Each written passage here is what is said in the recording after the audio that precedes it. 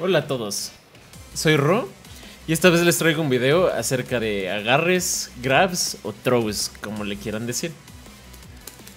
Primero voy a empezar para explicarles a los que no saben nada de juegos de pelea para qué sirven los agarres y qué son. Un agarre es un ataque que se utiliza para pasar sobre la guardia. ¿A qué me refiero con eso? Significa que si yo pongo a mi oponente a bloquear todo, Pueden ver que aquí sin importar nada, todo lo va a bloquear. Puedo apretar lo que yo quiera y lo va a bloquear. Pero si yo uso... Creo que Noctis tiene el suyo, ¿qué? Mejor uso el genérico. Si yo uso un agarre, el oponente no va a poder bloquearlo. Esto generalmente es la manera en que uno vence lo, una buena defensa de bloqueo en juegos de pelea. Pero Tekken tiene su propio sabor de agarres, por así decirlo, si es que ustedes vienen de otros juegos de pelea. Y a lo que me refiero con eso, uh, va a quedar más claro un poquito más tarde en el video. Primero les quiero ex explicar cómo se hacen los agarres generalmente. Existe una clase de agarres que se les dice los genéricos. Es el 1 más 3 y el 2 más 4. Todos los personajes tienen acceso a estos dos agarres. El 1 más 3 va a respetar el lado, como pueden ver aquí. Otro ejemplo. y el 2 más 4, si es que lo hago bien. Nos cambia de lado. Entonces pueden usar estos agarres genéricos dependiendo del contexto para ver si es que se quieren quedar en el mismo lugar, ¿no? Como aquí lo pueden ver. O si quieren cambiar de lugar, por ejemplo, si fueran Dragunova. Si yo fuera a agarrar a Dragunova va a ser el agarre de 2 más 4. En este caso, él tiene ventaja, ¿no? Porque me puso contra el muro. Ahora, estos dos agarres genéricos, tanto el 3 más 4 y el 2 más 4, que se pueden hacer también con un adelante. Vamos a hacer que nada más haga uno.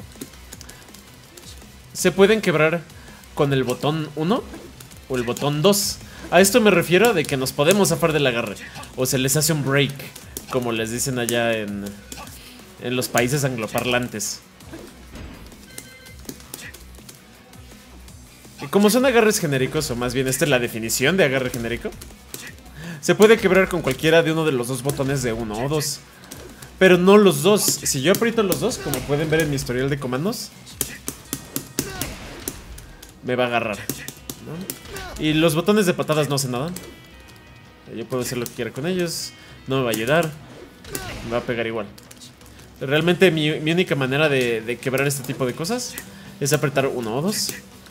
Ahora, todos los agarres genéricos generalmente se van a ver como si nuestro oponente extendiera una sola mano.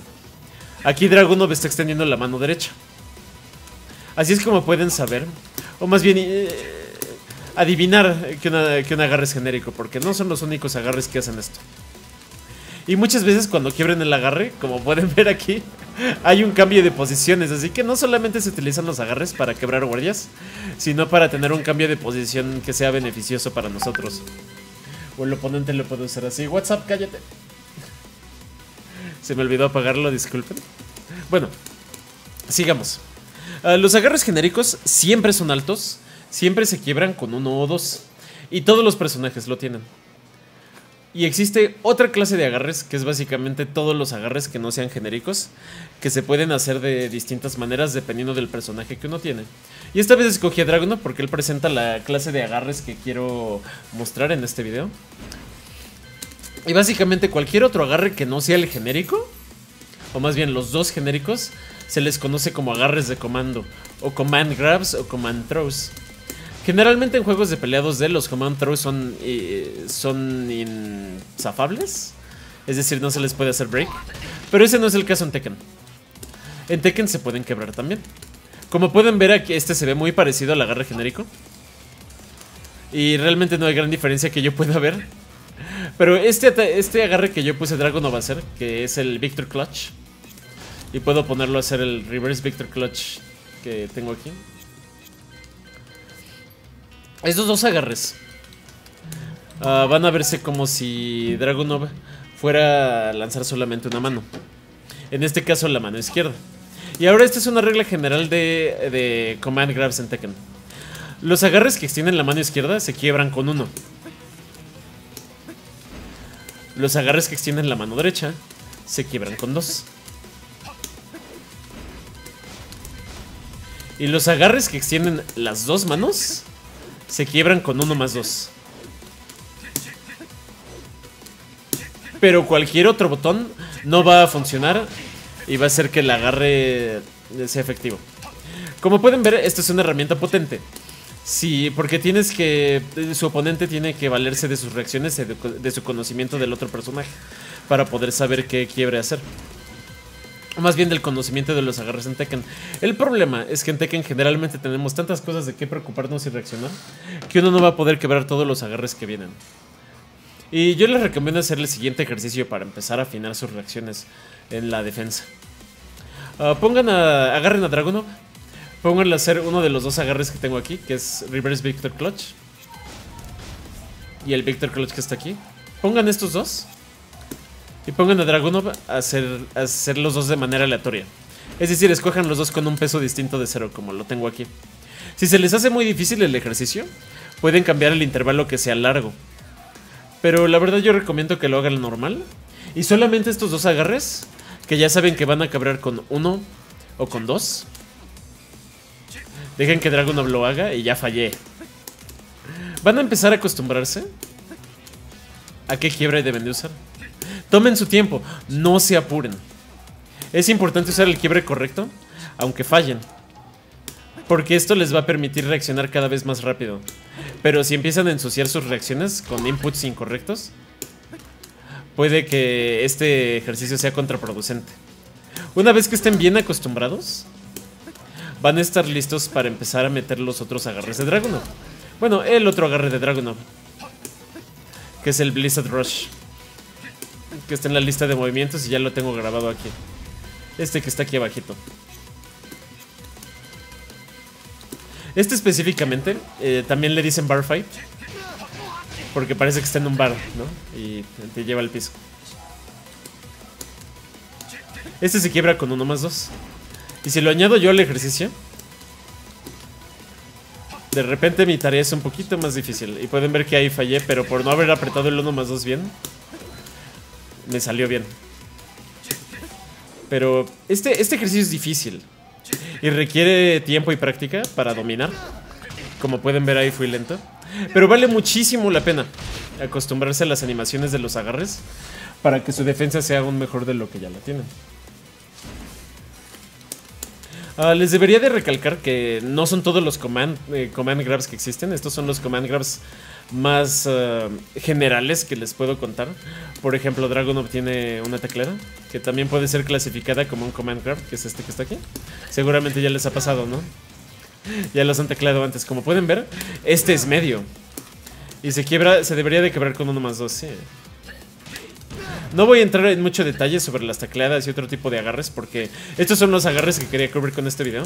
Los agarres genéricos y los command grabs más comunes. Que son los que se quiebran con uno, con dos y uno más dos. Solamente les quiero recalcar algunos puntos. las reglas que les di no están escritas en piedras. Existen personajes que tienen excepciones. Generalmente son los kings. Estos personajes que tienen máscaras de leopardo. Ellos pueden romper estas reglas y es la razón por la que tienen este, los mejores mix-ups eh, del juego en cuanto a agarres. Y por eso se les conoce como los grapplers o luchadores, por así decirlo, no sé cómo traducirlo, ah, del juego de Tekken.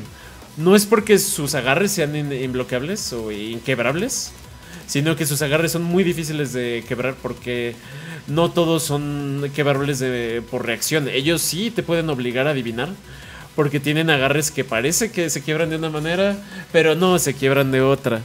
Y ese es un tema para otro video. Pero sí les voy a dejar este punto. Los, eh, generalmente si ven que solamente se extiende una mano, como estos dos agarres que tengo aquí, esto sí lo pueden practicar para todos los personajes y esto va a ser cierto. La extensión de una mano siempre va a quebrarse con esa mano. Es decir, la mano derecha con dos y la mano izquierda con uno. Ah, donde puede ponerse un poquito difuso es cuando salen las dos manos. Como les digo, los Kings tienen la habilidad de que hacer que este agarre ah, se quiebre con uno en vez de uno más dos. Y es donde hay problemas, ¿no? Este no es King, pero bueno, voy a hacer un video solamente para eso. Y para los multithrows y el tackle de Marduk. No voy a entrar en profundidad de esos temas, voy a poner un poquito más de detalle en la descripción del video y las notas que están linkeadas en la descripción del video. Y como último punto, el ejercicio que, les enseñé de grabar al, al oponente a hacer distintos agarres. Existe una aplicación para eso, para que se lo lleven a su celular si tienen Android o iPhone o iOS, más bien. Ah, hasta donde yo sé la aplicación no funciona para teléfonos Windows. Afortunadamente sé que esa es una minoría del mercado, entonces para la mayoría de ustedes les va a servir esta aplicación. Y la aplicación se las voy a linkear en la descripción del video y en las notas del video. Y bueno, este fue el video más básico de agarres que les puedo traer. Y fui Nos vemos después.